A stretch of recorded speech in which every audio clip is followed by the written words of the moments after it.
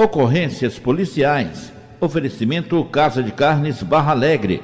Francisco Rodrigues 21, Barra Alegre, Ipatinga. 98753 8760. Gildomar Baterias. JK 880, Jardim Panorama, Ipatinga. MD Sat. Instalação e manutenção de antenas. 98422 7409 e Fábrica de Sorvete Nevasca, na Glicínia 253, Bom Jardim, Ipatinga. Morreu no Hospital Márcio Cunha, em Ipatinga, o Alessandro Júnior Silva, 34 anos, o qual foi baleado na barriga e se encontrava internado desde a madrugada do dia 13 deste mês. Conforme foi informado pela reportagem da Rádio Vanguarda, o fato ocorreu na zona rural do município de Bugre, povoado de Santo Antônio do Boachá. A ex-companheira dele disse aos militares que Alessandro residia em Timóteo, onde deixou desavenças e estava morando há pouco tempo no município de Bugre. Os militares apuraram que um veículo branco foi usado pelos criminosos e conseguiram imagens de câmeras de segurança identificando a placa de Coronel Fabriciano. O veículo foi abordado durante uma operação da PM na cidade de Timóteo Dois rapazes, 26 e 31, foram presos ao serem flagrados com porções de maconha, munições para armas calibres 38 e 9 milímetros, cocaína e uma balança de precisão. Sobre a morte de Alessandro, eles negaram envolvimento. Eles foram presos e encaminhados à Polícia Civil para uma melhor investigação. Militares estão realizando diligências para apurar autoria e motivação para o atentado de um jovem de 21 anos com as iniciais VG. Foi encontrado baleado em uma passagem que dá acesso à rua Serra Roraima, Jardim Panorama em Ipatinga. As informações apuradas pela reportagem da Vanguarda que o rapaz foi localizado por populares com perfurações de tiros na cabeça e face. Imediatamente acionaram equipes do SAMU e Polícia Militar a vítima socorrida em estado grave ao Hospital Márcio Cunha. Os militares em diligências tomaram conhecimento que VG, oriundo da cidade de Timóteo, estava morando há pouco tempo na grota do Jardim Panorama. O rastreamento da PM continua à procura de pistas de autoria e motivação para o crime. A polícia registrou colisão de veículo em residência no bairro Canaã, em Ipatinga, na madrugada de ontem. Corpo de Bombeiros compareceu. Toyota Prata, placa LPW 7F55, conduzido por um homem com as iniciais DG, 38 anos, bateu no muro de uma residência no início da Avenida Simão Bolívar, 26 do Canaã. No local, de acordo com nota do Corpo de Bombeiros, havia uma vítima aparentemente embriagada e com leves escoriações pelo corpo, sendo retirada do veículo com segurança, encaminhada até a UPA do bairro Canaã para atendimento médico e em seguida foi levado ao plantão da Polícia Civil. Rafael da Costa Silva, 28 anos, foi encontrado morto na madrugada de ontem no bairro Novo Cruzeiro, Ipatinga. A equipe de resgate do Corpo de Bombeiros foi chamada para atendimento de ocorrência no perímetro urbano da BR-458. No local, os bombeiros encontraram a vítima dentro de um veículo GM Vectra de cor azul. Após verificar pelo vidro a ausência de movimentos respiratórios, a guarnição imediatamente quebrou o vidro do carona para acessar a vítima. De acordo com o cunhado de Rafael, ele havia saído cedo de casa e desapareceu. Partindo dessa informação, ele saiu à sua procura quando, por volta de duas da manhã, avistou o carro do cunhado estacionado perto do Ipatingão. Ao ver que a vítima não respondia às batidas no vidro, ele acionou os bombeiros para intervenção. A perícia da Polícia Civil também foi ao local realizando os trabalhos de praxe e determinou a remoção do corpo para o Instituto Médico Legal, onde ficou constatado morte súbita.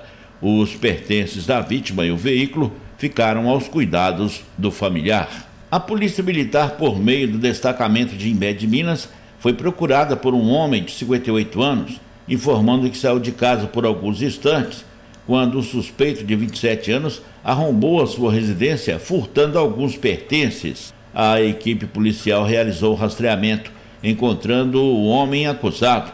Na casa dele, os PMs encontraram os materiais furtados. Os militares perceberam que em um dos cômodos estava fechado.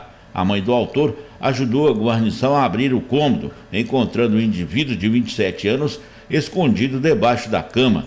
De acordo com a PM, ele confessou o crime e mostrou onde estaria o restante do material furtado. O autor confessa foi preso e encaminhado à Delegacia de Polícia Civil de Caratinga, onde o delegado de plantão ratificou o flagrante. Militares, durante patrulhamento pela Avenida José Anatólio Barbosa, no bairro Limoeiro, no final da tarde de ontem, avistaram dois suspeitos em uma moto. Ao notar a equipe policial, o piloto da motocicleta acelerou e fugiu em alta velocidade, percorrendo por várias ruas dos bairros Limoeiro e Vila Formosa, quando na entrada do distrito de Barra Alegre sofreram uma queda. E mais detalhes com o repórter J. Passos. A participação do sargento Bretas, que trouxe dois menores infratores e pesa contra eles a acusação de um furto de uma motocicleta. Durante o patrulhamento no bairro Limoeiro, próximo ali à praça do bairro, passou em alta velocidade uma motocicleta com dois indivíduos. Chamou, nos chamou a atenção a velocidade que eles estavam imprimindo e o carona está de luzes de frio. Nisso nós tentamos acompanhamento, conseguimos acompanhar. Aí eles começaram, quando a gente acionou a sirene da ordem de parada, eles começaram a evadir pelo bairro. Era um horário de trânsito muito intenso, saída de escola, passaram em frente de duas escolas, colocando crianças em risco, em alta velocidade. A gente conseguiu acompanhamento, acionou o cerco bloqueio via rede rádio e o carona o tempo todo tampava a placa da motocicleta. Eles evadiram durante toda a Avenida Zé Antônio Barbosa, com a avenida muito extensa. Quando no bairro Vila Formosa, eles pegaram a contramão, na Revelida Avenida, viraram à esquerda e voltaram pela sanitária.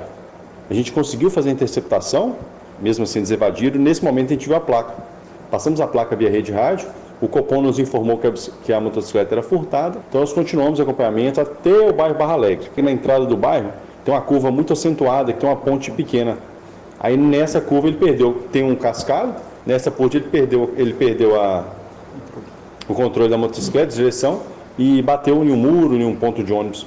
Os dois, né? Tava o carona e o, e o condutor. No momento que a gente fez a prisão dos dois e recuperamos a motocicleta. E essa motocicleta foi furtada onde e quando? Essa motocicleta foi furtada dia 29 de 1, 29 de janeiro, no bairro, no Hospital Mascunha, no estacionamento do Hospital Mascunha. É, conversamos com, com uma prima, uma prima dele no local. Ela falou que o, que o menor apreendido, ele tem 17 anos, e há 15 dias ele estava com essa moto. Eu estava questionando a mãe do menor porque ele não trabalha, ele nunca trabalhou, ele não tem condição de ter uma moto. Se ela sabia que há 15 dias o filho dela, menor de idade, estava com uma motocicleta, se ela não questionou esse fato dessa motocicleta ou procurou saber. Na cidade de Caratinga, um homem conduzindo um veículo tentou atropelar e matar a ex-companheira na rua Generoso Senevites, no centro da cidade. Após o incidente, ele perdeu o controle do automóvel e colidiu contra uma mureta em um poste. O fato foi registrado pela polícia na manhã de sábado. Após o crime, o agressor abandonou o veículo e fugiu a pé, sendo localizado e preso mais tarde e conduzido até a delegacia de plantão, onde o flagrante foi ratificado. A mulher teve ferimentos graves e foi transferida para o Hospital Márcio Cunha em Patinga. Segundo o familiar, ela está imobilizada e não pode mover o pescoço. Deve passar por uma cirurgia especializada e muito arriscada, já que a vítima corre o risco de ter um grau de paralisia permanente. Neste momento, sofre com dores, apesar das medicações. Ao ser ouvido na delegacia, o homem disse que atropelou a mulher sem intenção Porém, as imagens de câmeras de segurança mostram o momento em que o carro atingiu, demonstrando o crime premeditado e não um acidente. E atenção, atenção, atenção, Casa de Carnes Barra Alegre, qualidade, preço baixo e bom atendimento. Casa de Carnes Barra Alegre, aceitamos pagamento somente em dinheiro ou Pix. Pagamento só dinheiro ou Pix. Casa de Carnes Barra Alegre, Francisco Rodrigues 21, Barra Alegre, Ipatinga. Zap Carnes 31 98753 8760. Bateria para veículo de todas as marcas? Gildomar Baterias. As melhores condições para você pagar? Gildomar Baterias. O teleentrega mais rápido? Gildomar Baterias. Plantão 24 horas? Gildomar Baterias. Gildomar Baterias, plantão 24 horas, Disque Baterias 3821 8870, 3821 8870, JK, Jardim Panorama Ipatinga. E atenção, A MDSat faz instalação e manutenção em antena parabólica, antena para recepção de TV. Parabólica digital é com a MDSat. TV por assinatura Sky, portão eletrônico e interfone MDSat. Atendimento em domicílio em todo o Vale do Aço.